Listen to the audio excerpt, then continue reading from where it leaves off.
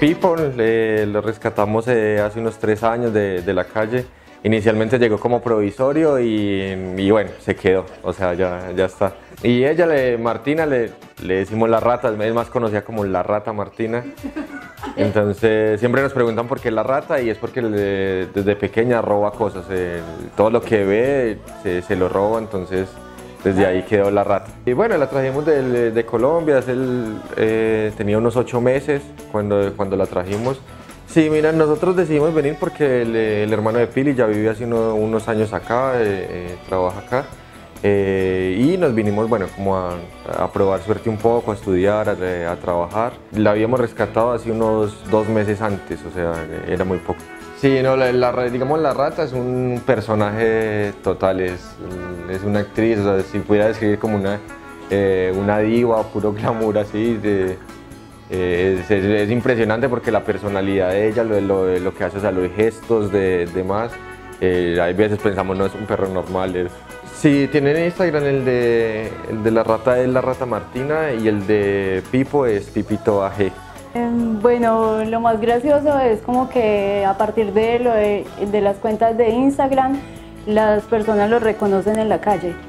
Entonces ahí, por ejemplo, una vez una chica se cruzó la calle y gritaba así, es la rata Martina, la rata Martina, y bueno, hay como ese tipo de situaciones que siempre uno va caminando, escucha, en la rata, son los Instagram, y, y bueno, eso está bueno. Sí, mira, lo que la rata dentro de todo ha sido muy, muy sana, eh, no, ha tenido mayor complicación. Eh, lo que es Pipo, eh, bueno, en el momento cuando lo, rescatamos, le empezamos a hacer como exámenes veterinarios, demás, para saber qué, qué, tal, cómo está, porque no conocíamos mucho de él. Y él tiene hipotiroidismo y síndrome de Cushing. Entonces él hoy en día está en, un tratamiento, o sea, con medicación, todo, para, para regularle.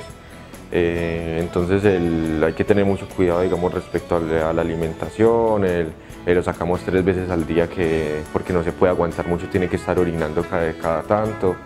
Entonces él sí está, pero dentro de todo lleva una vida eh, normal, o sea, no, no, tiene nada raro. Todo es como que la que ella manda en la casa, como que todo lo tenemos que hacer acorde a lo que ella pida. Siempre nos sentamos a comer y ella se toma su puesto, eh, si se sienta ahí y bueno, y si uno no le da comida, entonces empieza a golpear la mesa o a hacer ruidos. Eh, pero la vida de nosotros, son la familia, son ellos dos, los cuidados, todo lo, se los tenemos esa, eh, a ellos.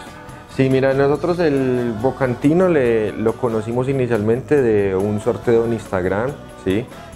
nos ganamos bueno, un, alimento de bocantino y desde ahí lo empezamos, lo empezamos a usar.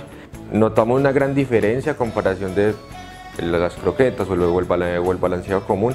Uno al, ser eh, natural, ¿no? que en las redes sociales también muestran cómo lo, hacen y, está bueno, nos da, nos da confianza. Eh, y lo otro, directamente porque ellos eh, ya es otro, otra manera de vida, de, la alimentación de ellos es, es, todo, por así decirlo.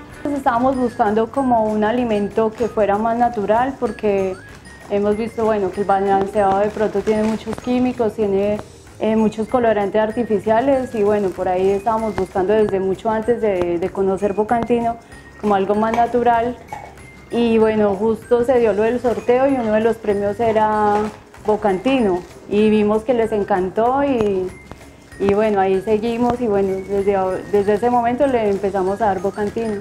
Está, bueno en el sentido de que, bueno, que, el envase se puede siempre reutilizar y bueno, viene sellado al vacío, está, está bueno.